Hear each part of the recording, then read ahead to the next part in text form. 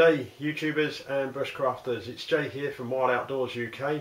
Um, today I'm going to do another review on a couple of um, knives that I take out with me and depending on what I'm doing on bushcraft. Um, the first one is one I carry with me all the time regardless. Um, I've had it for about uh, 20, 20 odd years now and it is a Normark Super Swede. These knives uh, were made in, in Sweden. Um, a really really good little lock, uh, a locking pocket knife. Uh, I, I, do believe it's, it's got a Scandi grind on it. Um, like I said, I've had it for about 25 years.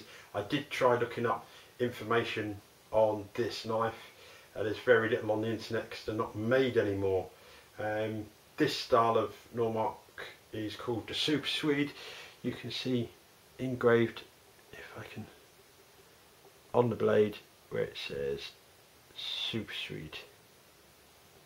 If you can see that. It's a very robust knife. Um, I've used it um, for all sorts of things.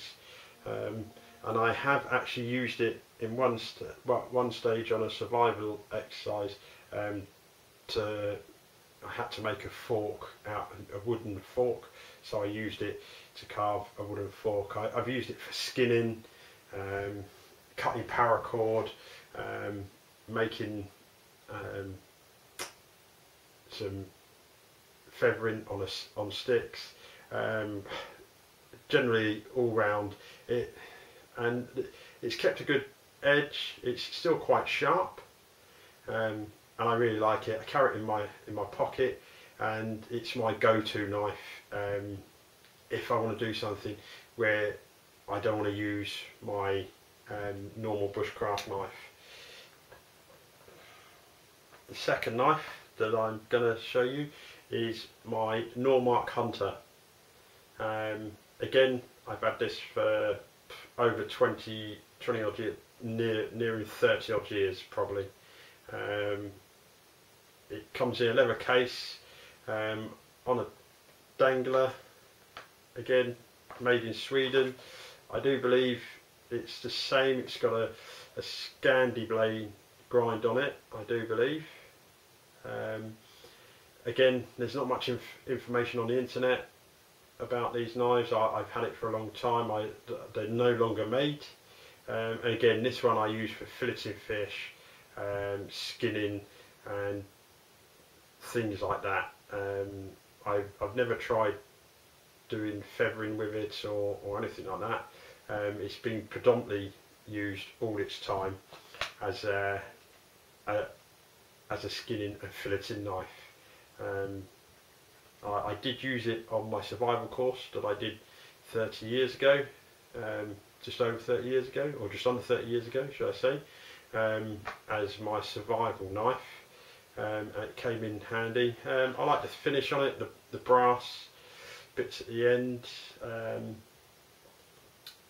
it's, it's, it's a nice light knife and handy for doing all those jobs that your bushcraft knife is just too big for like filleting um, and skinning animals. Not saying that you can't do it with your bushcraft knife, but you know, um, it just makes them thinner because it's a thinner blade.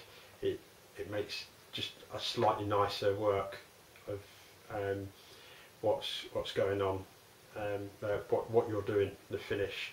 Um, and apart from that, like I say, I just carry my the Normark Super Swede all the time on me. It's my go-to knife and my Normark uh, Hunter um, I only carry with me if I'm going out and I'm going to get some game, rabbit, bit rabbits, pigeons uh, or I'm going to fish.